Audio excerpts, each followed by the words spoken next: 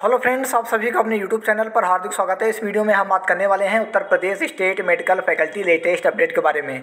Video important है, video को उन तक देखते रहें, वीडियो को लाइक करें, शेयर करें और अभी तक चैनल को सब्सक्राइब नहीं किए हैं या चैनल पर पहली बार विज़िट कर रहे हैं तो तुरंत चैनल को सब्सक्राइब कर लें बेलाइकन के साथ साथ आल के बटन पर क्लिक कर लें, जिससे कि सारी इन्फॉर्मेशन आपके पास सबसे पहले और फ्री में पहुँचती रहे।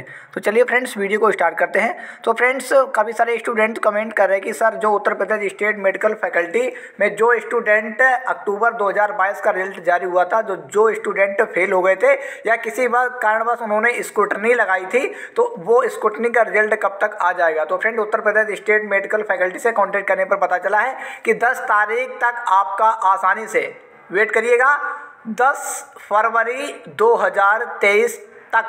आसानी से आपका जो भी स्टूडेंट ने स्कूटनी लगाई, उनका रिज़ल्ट यानी स्कूटनी रिज़ल्ट डिक्लेयर होने वाला है।